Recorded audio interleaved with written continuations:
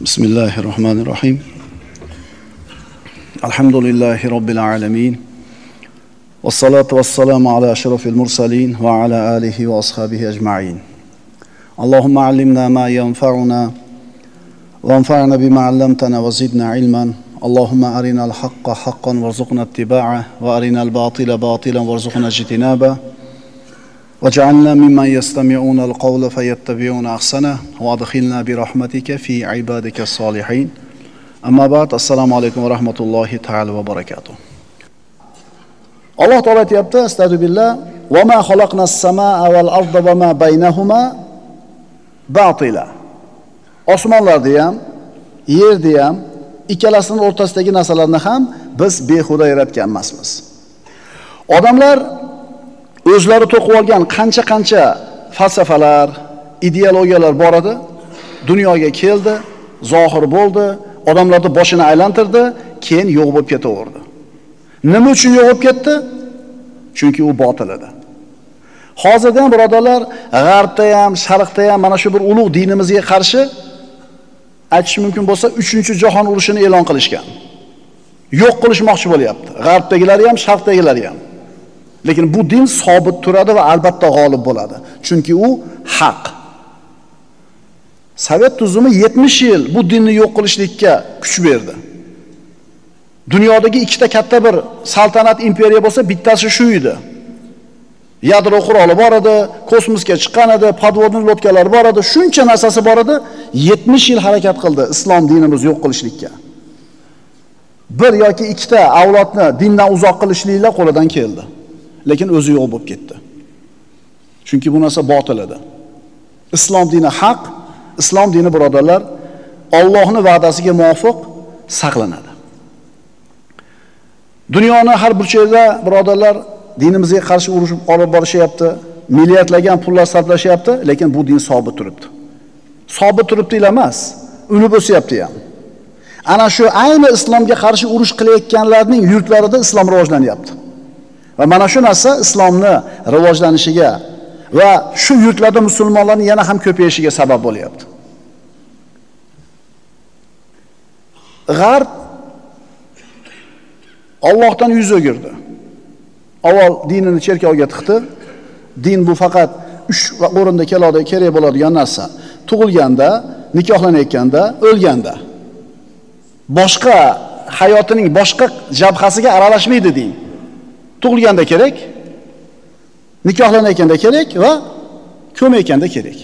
Shuning uchun birodarlar, bular yo'q bo'lib ketishlikka mahkum. Britaniyalik bir olimning so'zini o'qib beraman.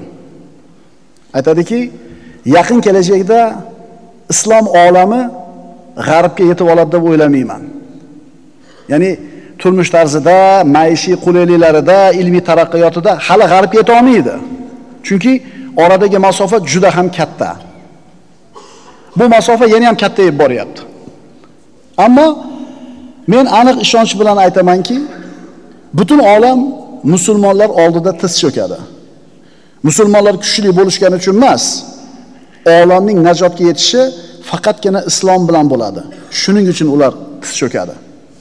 Faqat buning uchun musulmonlar o'zlarining dinini to'g'ri fahmlab unga go'zal suratda amal qilib boshqalarga dinlarini to'g'ri taqdim qilishlari kerak. Tushunarlimi? Biz zo'rligimiz uchun emas tiz cho'kadi ular. Dinimiz islomimiz zo'rligi uchun. Bu olim aytyapti g'arb xohlasin, xohlamasin islom oldida tiz cho'kadi, chunki insoniyatni najotga yetishi, insoniyatni bu dunyoda tirik qolishligi faqat islom bilan bo'ladi. Chunki u o'zini jamiyatini nima bo'layotganligini ko'rib turibdi-da. Endi musulmonlar zo'rligi uchun tish yo'qmaydi, islom zo'rligi uchun. Biz islomimizni to'g'ri qilib ko'rsatib berishimiz kerak. musulmonligini pesh qiladi, ana shu Koreyada ishlayapti yoki boshqa joyda ishlayapti, musulmonligini pesh qiladi, qilayotgan ishi musulmonning fe'liga to'g'ri kelmaydi. Yana bir ma'no. Astagfirullah. Va ma xalaqna as-samaa va la'ibin. Biz osmon va yerni hamda ularning orasidagi narsalarni o'ynab behuda yaratganimiz yo'q. O'ynab behuda yaratganimiz yo'q. Nima degani bu? Bemaqsad qilingan ish, bekorchi ish. Mana shu telefonni yangi modelini quvalashlik bekorchi ish. Uxlamasdan kechqurun futbol ko'rishlik bekorchi ish. Yana qanaqa ishlarimiz bor bekorchi? 10 ming dollarlik mashinasiga 20 ming dollar sarflab qo'yadi tuning qilib. Bekorchi ish shaharda bitta bo'lib yursin. Bormi shu kasalimiz? Kechasi 3 gacha narda o'ynab o'tirish. Bu g'irt harom ish. Behudagarchilik, vaqtni zoya qilish. Unaqa odamlarni til bilan aytganda vaqtni o'ldirib o'tiribmiz deydi. Vaqtni o'ldirib o'tiribdi. Sen nima eding odam bolasi? Sen vaqtsan. Sen yillar, oylar, haftalar, kunlar, soatlar, daqiqalar, soniyalar majmuasisan. Sen vaqtsan. Sen vaqtni o'ldirib o'tiribmiz deganingda o'zingni o'ldiryapsan. Pirra bosay o'tirishadi.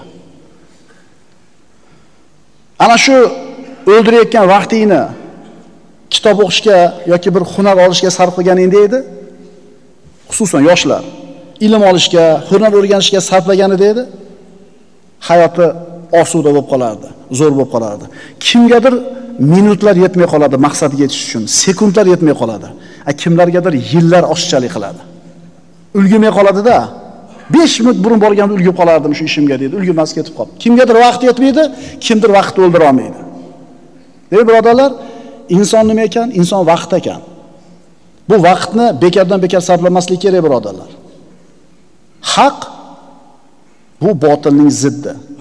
Botil yo'q bo'lib ketadigan narsa, haq sobit turadigan boqiy narsa.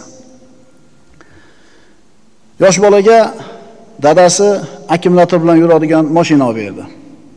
Endi haligi bolani xursandchiligini cheki yo'q. Butun borlig'ini egallaydi bu mashina. Kuni tuni shu fikri o'yi mashina bilan. Olib qo'ysa dod deydi.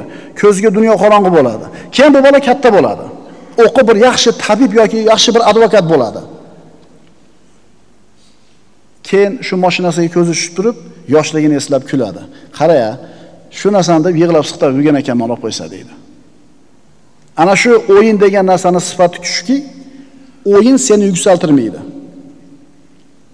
Sen ulg'ayding, bir narsaga erishding, o'yin degan narsadan yuksalding.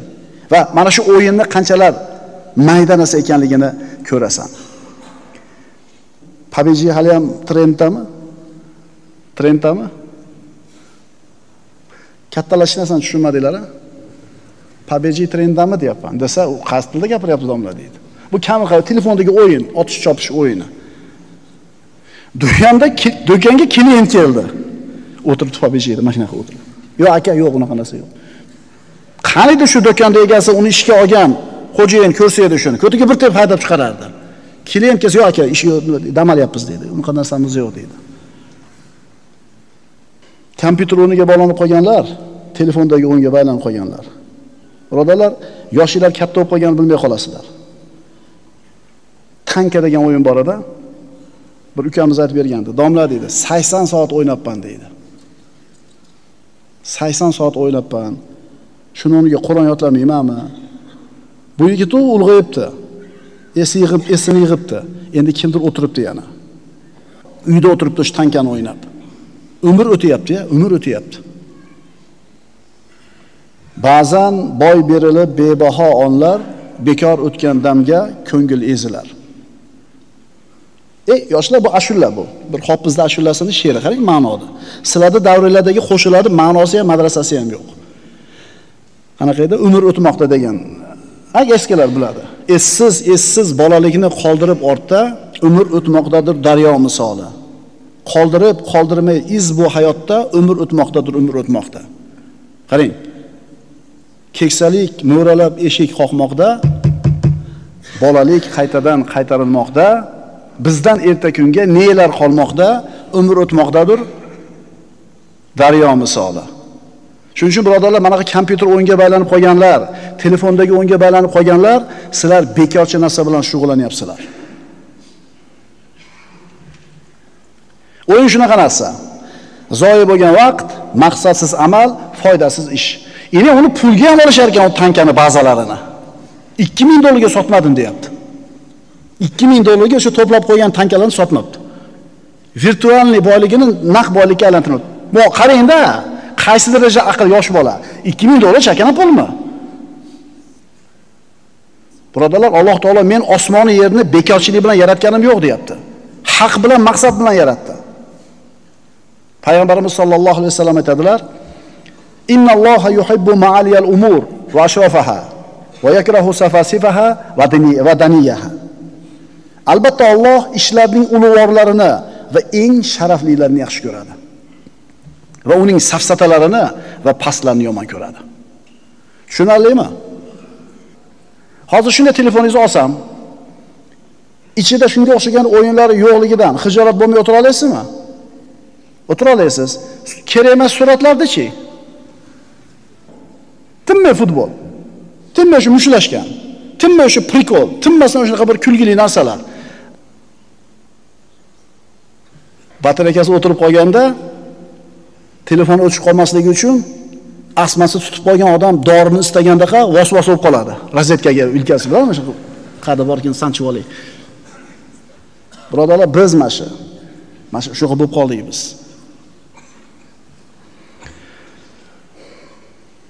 Oliy ufqda bo'lgan inson bor, pastda, tubanlikda turgan inson bor. Eng sharafli oliy insonlar oliy ishlar bilan mashg'ul bo'ladi.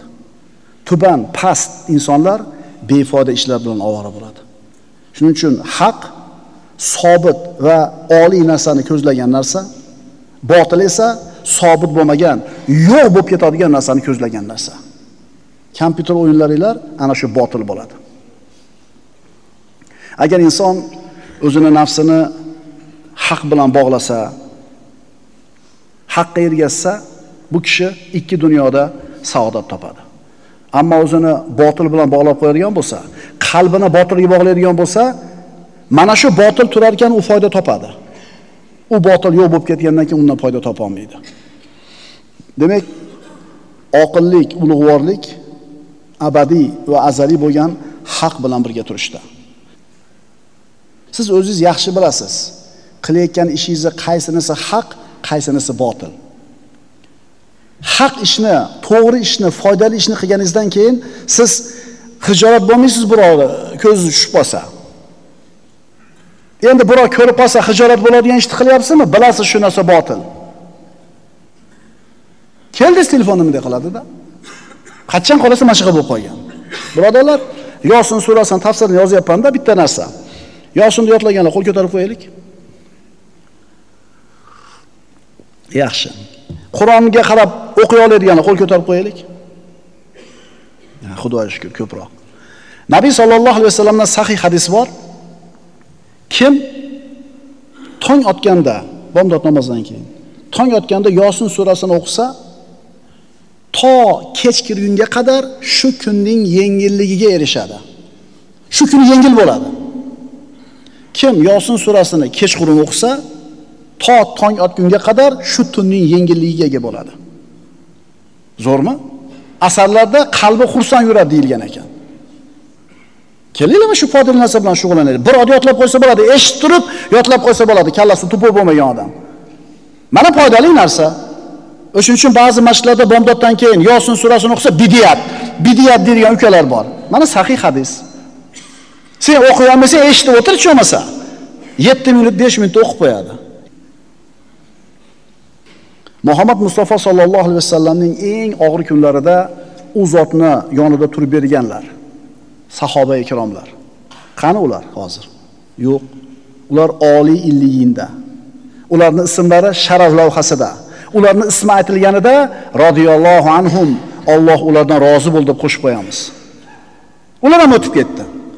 Endi Muhammad alayhisalomga qarshilik qilganlar, islomga dushmanlik qilganlar, o'zlarini botilda tutganlar. Ular qani?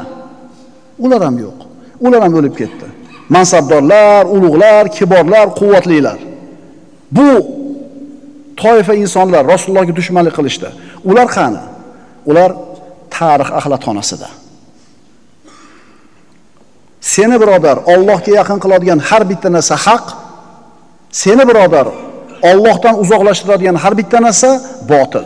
Qo'linglardagi telefon sizlarni Allohdan uzoqlashtiryapti aksar holatda. haq sobit va doim bor bo'ladigan narsa botil yo'q bo'lib ketadigan narsa. Abu Hanifa rahmatullohi alayhni husumatchilardan bittasi bu imomni qiyin ahvolga solib qo'ymoqchi bo'ldi. Bular hammasi xalifa Ja'far al-Mansurning huzurida turishganida boyagi husumatchi Abu Hanifaga dedi rahmatullohi alayhi. Nima deysiz ey imom? Agar xalifa menga bir odamni o'ldi desa, o'ldirishim kerakmi, yo'qmi dedi. Abu Hanifa rahmatullohi alayh xalifa bu o'rinda haqmi yoki nohaqmi dedi.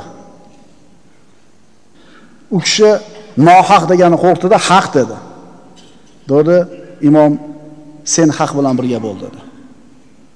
Tashqariga chiqqandan keyin u meni bog'lab qo'ymoqchi bo'ldi, men uni bog'lab qo'ydim dedi. Shuning uchun birodar, haq bilan birga bo'lishlik kerak. Haq doimiy turadigan narsa, botil yo'q bo'lib ketadigan narsa. Birodarlar, dunyo matohi bu unga oshiq bo'lishlik botil amal. Bu dunyo matohi sizni malollantiradi. Sen birodar Allohni tanish uchun yaralgansan. Jannat uchun yaralgansan. Abadiy hayot oldidasan. Seni borlig'ingni Allohdan boshqa narsa to'ldirmaydi. Mansabga intilasan, yetasan, zerikasan. Boylikka intilasan, yetasan, u ham zeriktiradi. Go'zal ayolga oshiq bo'lasan, yetasan, u ham zeriktiradi. Nima bo'lishidan qat'iy nazar, bu dunyo matohi vaqtincha huzur halovat bo'ladi, keyin zeriktiradi. Allohdan boshqa hamma narsa odamni malollantiradi. Allohdan boshqa biron narsa senga abadiy saodatni bera olmaydi. Alloh shunday bo'lishini xohladi. Shuning uchun dunyoda yashab Allohni tanimasdan kun kechirayotganlarning hayoti malollanishlikdan iborat. Sen birodar, hamma narsani bir chekiga qo'yganda Allohni rozi qilishlikni birinchi o'ringa qo'y. Shunda qolgan dunyo matohini Alloh taolo seni qo'lingga ato qilib qo'yadi. Allohni unutgan, dunyoni hamma narsasiga erishgan odamlarning mushkulasi ham ayni shunda. Oldida maqsad qolmagan, hamma yoqqa erishgan. Shuning uchun qarasanglar, suitsid deymiz mana. O'zini joniga o'zi qasd qilishlik suitsid deyiladi. Mana shu jahon statistikasini qarasangiz, suitsidni eng katta qismi qayerda desa, mana shu ayni dunyoviy maishati rivojlangan mamlakatlarda.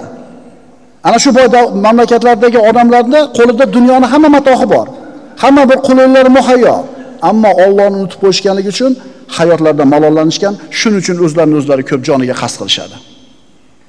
Astagfirullah. Qul hal nunabbiukum bil akhsarina a'mala. Ey Muhammad alayhisalom ayting. Sizlarga qilgan ish amallaridan eng ko'p ziyon ko'rguvchi kimsalarning xabarini beraymi? Dunyoga kelib eng katta zarar ko'rgan odam kim aytaymi?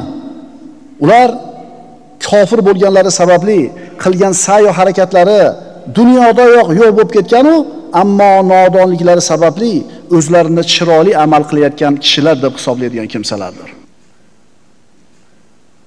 Allohdan uzoq bo'lib inson saodat topishi mumkin emas. Chunki Robbimiz aytayapti: "Ala bi zikrillahi tatmainnul qulub." Ogoh bo'linglar, ogoh bo'linglar, qalblar faqat Allohning zikri bilan orom oladi. Dunyo, boylik, mansab, chiroyli ayol, keng hovli, qimmat mashina, bular hammasi malollantiradi. Qalb faqat Allohning zikri bilan orom oladi. Inson hayotining avvalida mol bu hamma narsa deb o'ylaydi. Hayotining o'rtasiga kelganda mol bor yo'q bir narsa ekan deb o'ylaydi. Umrining oxiriga borganda mol hech narsa emas ekan deydi. Nabiy sallallohu alayhi vasallam aytadilar: "Lian aqul subhanalloh walhamdulillah va la ilaha illalloh vallohu akbar ahabbu ilayya mimma talat alayhi shams." Subhanalloh walhamdulillah va la ilaha illalloh vallohu akbar deyishligim men uchun quyoshning nuri tekkan hamma narsalardan ko'ra sevimliroqdir. Telefonda kamera o'ynab, zikrni ko'proq aytaylik. Subhanalloh valhamdulillah va la ilaha illalloh vallohu akbar. Alloh azza va jalla o'zi to'g'ri yo'lga boshlasin. Haqni haq qilib ko'rsatsin, unga ergashaylik. Botilni botil qilib ko'rsatsin, undan uzoq bo'laylik. أقول قولي هذا وأستغفر الله لي ولكم إن الله وملائكته يصلون على النبي يا أيها الذين آمنوا صلوا عليه وسلموا تسليما والسلام عليكم ورحمة الله تعالى وبركاته